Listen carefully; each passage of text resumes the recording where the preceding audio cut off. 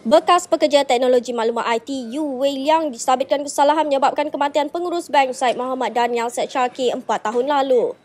Hakim Mahkamah Tinggi Julia Ibrahim membuat keputusan itu mengikut Seksyen 304 kurungan A Kanun Keseksaan selepas meneliti dan memperhalusi keterangan tertuduh, saksi pendakwaan serta pembelaan selain hujahan pada setiap peringkat secara keseluruhan.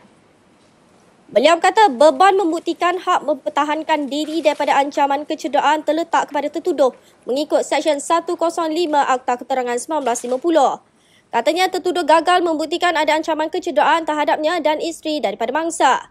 Pada 22 Ogos 2019, William 45 tahun didakwa membunuh Syed Muhammad Daniel 29 tahun di Lebuh Utara Selatan pada 10 Ogos tahun sama mengikut Seksyen 302 Kanun Kesisaan yang membawa hukuman mati jika sabit kesalahan.